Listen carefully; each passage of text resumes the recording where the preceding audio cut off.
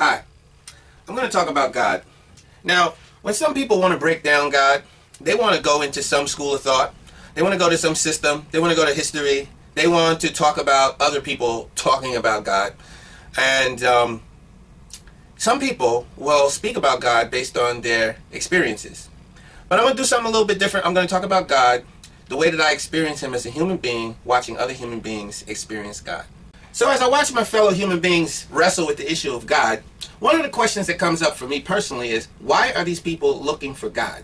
Other questions come up for me like, where are they looking for God? What, what does God mean to them? Some people are looking for God because they're looking for someone to take out their frustration on. I mean, they're not enjoying their lives and they hear that God is to blame for life itself, blame, and they're looking to understand the person that they mean to uh, punish, meaning God. Interesting that some, even some atheists are intensely looking for God for the, for the purpose of uh, punishing him. You know, popping the cap in his behind if they could, you know. Some people are looking for satisfaction, happiness, joy. And they're expecting that God is the source of those things, so they want to acquaint themselves with him or her. But me, as a kid, I wasn't too interested in people. I was quiet, didn't talk too much the first three or so years of my life. I was quite fascinated by the way that things work. Personally, if I don't see it, you know, if I don't see it, it's not relevant to me.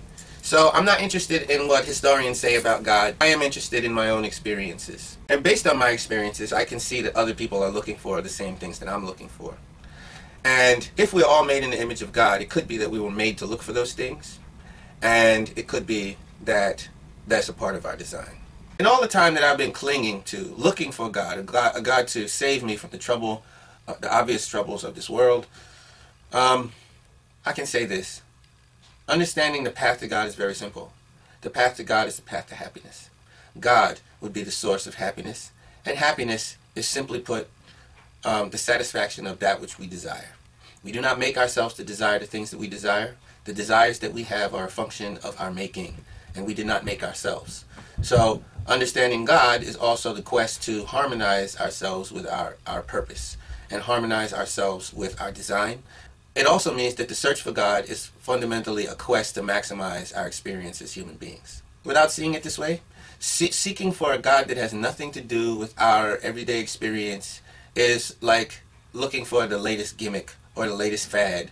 You know, something that is apart from us that we want to dress ourselves in. Sort of like going to the change room at the um, department store and just putting on something that we think will make us happy. And if you search for God in that way, I don't think you're ever going to find God. And for most people, their, their search for God is doomed at the outset because they just don't pay attention to themselves, not one bit.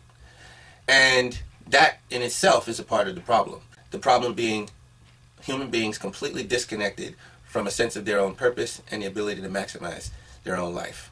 So what I'm about to say to you, I have no idea how it's going to make you feel. Based on my experience and the experience of people that I love and care about, I would say that God is the guy who saves us. Simply put, God is whoever will save us from trouble. That's God. When a baby cries, this resonates with the search for God. Babies, before they can even make out who their mother, what their mother's face looks like, they're crying for salvation. They're crying for someone. From their perspective, they're crying for God. Now, the vessel of God would be their mother, especially their mother's breast, especially when they're hungry. So we are like babies. If you agree with most people's assessment that this world is full of trouble and pain and suffering, then you know this cry. It's the inner cry, wondering if a better world is possible. When we wonder if a better world is possible, that is a call to God. Talk to you later. If you like this discussion, subscribe, like, share. Thank you.